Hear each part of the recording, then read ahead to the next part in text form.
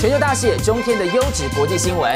我们开会员喽，欢迎大家加会员，成为全球大视野的一份子。支持应援一二三，订阅按赞加会员。全球大视野直播线上见。美国这个赌注输赢，前途未卜。看起来初期美国会占便宜，可是好像全世界，包括艾斯摩尔的执行长。对于美国这种做法也不乐观哦，也不乐观。理由是几个，第一个，美国他以为说他把华为的手机啊给打下去了，他觉得说，那我把整个大陆的晶片产业给打垮，然后不让高阶晶片呢能够卖到中国大陆去，他这样就可以把中国大陆打回所谓的他们所谓石器时代。那笑话，那什么石器时代？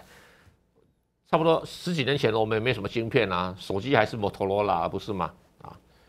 那像我们问一个问题，就是说，那美国现在呢，不让有美国护照跟所谓的绿卡的一些一些工程师、科技人员呢去大陆服务，也不准台积电帮这个诶大陆的高阶晶片代工，那也不准诶很多的厂商，包括韩国厂商、台湾厂商到大陆去设厂。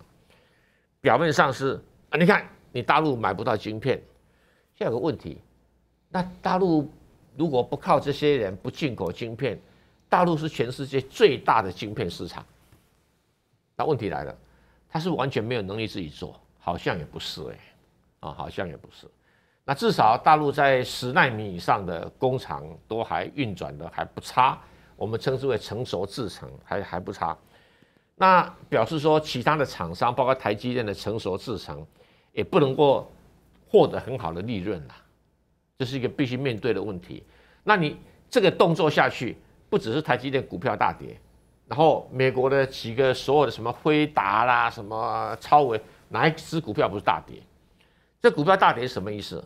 就表示我们他们未来会受到伤害，因为没有了大陆订单。举个例子，大陆有一家很棒的、很强的 AI 晶片公司叫 BRAIN，我我忘了中文怎么翻译，他下订单给台积电，台积电不敢接。他说接着不晓得会不会被美国处罚，因为美国那个规定模模糊糊。好，那台积电马上就失去了一笔很有很高利润的一个订单。那没有了订单以后，美国的订单哦可以来补足这个产能没有问题，但利润率至少差两成，所以台积电股票跟着跌，我们不意外。那美国这样的股票的大跌，表示美国的财富就损失了一大笔哦。你看台积电跌多少，好几兆哦，其他美国的呢？一样哦，所以美国现在已经开始赔。那大陆有股票有没有跌？有啊，大陆很多公司什么长江存储啊，股票都有跟跌啊。而大陆不在意股票跌不跌哦，大陆在意说，那好，我的设备厂商自己能不能起得来？我的光科技厂商自己能不能起得来？我的各种原料厂商还有制造厂商，中芯半导体能不能取代相当程度台积电的这个供货量？我们就问一个问题，就是。光科技全世界的做的最好的艾斯摩尔，他的执行长怎么讲？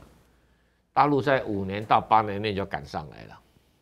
那如果他讲的话是准，那美国搞个老半天就争取个五年到八年的时间，那你们是表示这五年八年里面，以后你就没有办法再压制中国大陆的，或者你美国这个五年八年就可以飞得很快？这好像也不是看得到的景面哦，所以。他是啊想办法说，为了我美国的安全，然后赶快把台积电拆解啊，五五纳米的搬到美国去生产，就张忠谋吐他槽，说不会成功，一定会赔钱。然后他又说，有人有传说，美国中央情报局有一张台湾这个台积电研发工程师的名单，一百五十几个人，必要的时候把他撤到美国去。问你，台积电员工有四万八千人呢，啊，那那你把这个。这些人丢在台湾，然后你又你又把台积电拆解，那这些人会被谁吸走？谁有能力把四万八千人吸走？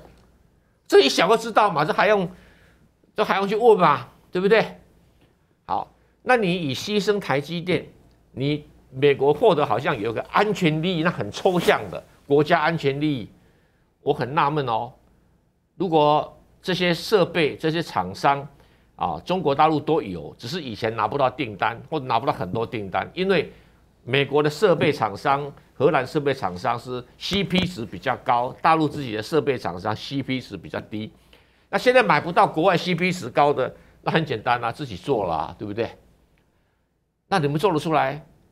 可以哦。为什么？因为比这些设备更高阶的的一些科技科学仪器，比如说太空舱，比如说火箭，比如说卫星、量子通讯，大陆上做的都比什么？比这些其他国家好哦。那这些这些的这些在所谓科技技术图路途，我所谓 tech technology roadmap 了，都比半导体强。那他把这个技术人才搬过来做，你以为他真的做不出来吗？我觉得要赌他做不出来的哈，输的几率是很大哦。风险太高。我这边特别想问，就是说，因为波士顿这边的咨询机构曾经去估算过啦，他怎么说呢？他说，如果美国完全禁止半导体公司向大陆客户出售产品，那要损失百分之三十七的收入。这边想要持续的问一下蔡委员，就是百分之三十七损失，这是什么样的一个概念？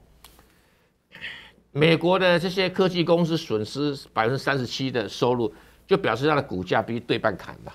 哇，就这样，冲击大了。然后美国很多退休基金都买这些股票，大家退休金对半砍嘛，就这么大家一起完蛋。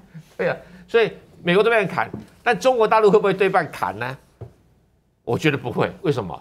因为它的晶片产业产能占它的整体的比重还没有那么高嘛。哦，它。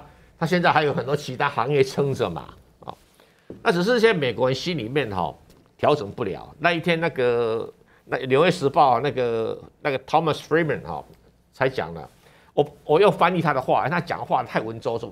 他的意思说，美国人认为你中国人只够资格做鞋子、做皮包、做运动衣啊，你现在今天给我搬出这么高科技的东西，我哪受得了啊？所以他开始讲了。以前呢，如果只能做运动衣、做鞋子的话，你共产制度啊，什么都没关系，就是跟像这越南一样，越南不是还能做鞋子吗？做皮包吗？啊，你共产制度也没有关系的，我们都好朋友。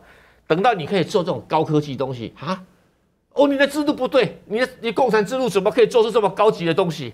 做手机啊，做做飞弹啊都不行，共产制度不应该做这个，所以你这种独裁，你没有民主，没有人权，你新疆有有种族屠杀。哇，你这个香港有破坏，什么话都讲出来了。他其实反映了美国人，尤其是白人哦，内心的恐慌。他觉得你黄种人怎么可以做出这种东西呢？你一定抄我的，你一定侵侵害我的智慧财产权。有的话你怎么去告呢？有没有看过你告过啊？不是，问题不是你告诉，是你根本都没去告。为什么？我发现，哎，五 G 我都不会啊，那怎么华为会呢？哎，你黄皮肤人怎么可以会这个东西呢？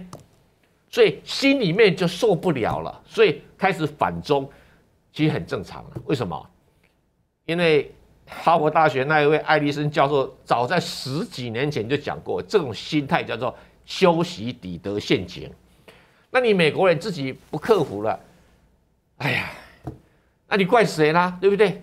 一个以前你看不起的人，突然间成绩比你考的比你好，那你只要整天去抹黑他。哎呀，他偷抄的啦，他跟老师送礼的啦，但你心里调试不了啊，好吧？那你现在说好不好？最后我要用军事跟你对对叠，那你要把握你会赢哦。我是没有那么乐观哦，这个基本上是五五坡哦。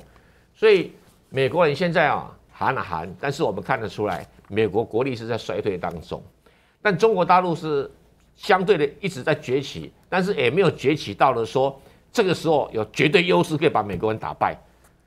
那中美之间的竞争，可能在我们这辈子会一直缠下去。